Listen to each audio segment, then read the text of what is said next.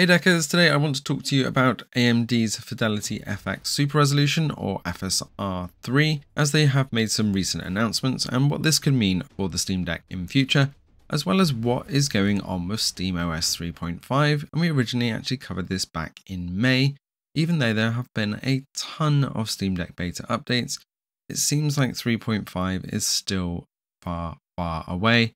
Even though we get great benefits like the new overlay, better graphics drivers, some other great features such as HDR, bringing HDR to the Steam Deck with external displays, better SDR support for that content as well, soundtrack integration into Steam, but there are quite a few bugs that still plague us, but I cannot go back to SteamOS 3.4 after having 3.5 for so long, so hopefully we'll get an update on this soon.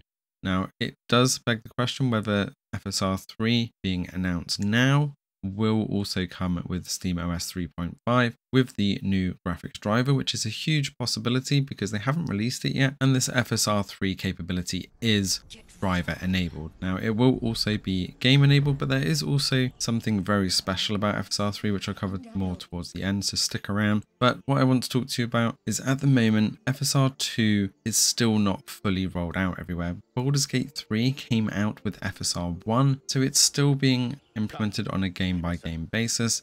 Although Baldur's Gate 3 said that they are going to implement FSR2 in September, which is actually when FSR3 is releasing. We'll be very interested to see whether they actually do make the jump to 3 or whether they do just stick with 2. But with around 300 games with FSR1 and 2 currently implemented, it does seem like there is still a lot of catching up to do. Now, Forspoken and Immortals of Aveum apparently in September are going to be getting FSR3 patches, and let's face it, they really need it especially running on the Steam Deck. Now what's very interesting is that FSR3 is saying that it's supported on the 5700 above, but recommends the 6000 series. That's for the full feature set, although they're saying that there may be some restrictions on the supported only.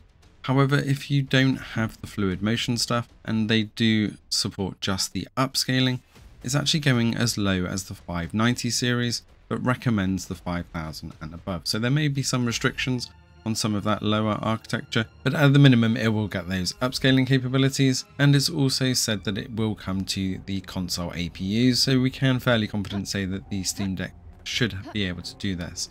Now with Forspoken currently on the Steam Deck running FSR2 even in ultra quality or performance modes it really struggles with 30 plus frames per second so we are really interested to see what FSR3 can do with them touting the FSR capabilities for version 3 tripling frame rates. Even if we only get double frame rate, this will massively help on the Steam Deck. Now, Immortals of Aveum with the FSR 2.1 integration is managing to hold 30 frames per second for the most part. We do still get some dips under that 30 mark. Check out our full video on this. But again, just doubling that frame rate or even one and a half times the frame rate with FSR 3 implemented will massively improve the experience. They've touted that there are 12 games coming this year potentially. We know that obviously Immortals of Aveum and Forspoken are definitely happening next month, with Avatar Frontiers of Pandora also launching with FSR 3, as well as Cyberpunk 2077's version 2, which will also come with the Phantom Liberty pack. So it's great to see there's some big games coming here and one that you may not know of that you really want to keep an eye on is Black Myth Wukong. And if you haven't tried Starship Troopers Extermination, that really does need some FSR integration, so that should be also very cool when that drops. They have some incredible support with some massive studios already, and they have also stated that it's going to have an Unreal Engine plugin for FSR3 and the HYPR-RX integration, which we'll talk about in just a second, which will be absolutely phenomenal for the FSR integration in future. Why do I say this? Well, AMD have done something very special, and I'm going to leave the man himself to tell you about it on this one because he says it much better than I can. But the engineers at AMD are pretty special, and they figured out a way to put fluid motion frames into HYPR-RX. And that means pretty much any DirectX 11 and DirectX 12 game running the AMD Adrenalin HYPR-RX software is going to get the benefits of fluid motion frames, frame interpolation, and generation. So there you have it. Starting next year, any DirectX 11 and DirectX 12 games will get some immediately benefit from the fluid motion technology. which should improve frame rates up to double for any DirectX 11 and 12 game in future.